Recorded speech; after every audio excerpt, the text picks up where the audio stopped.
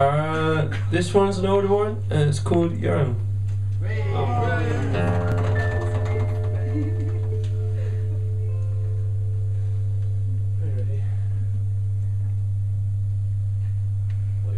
Yeah, you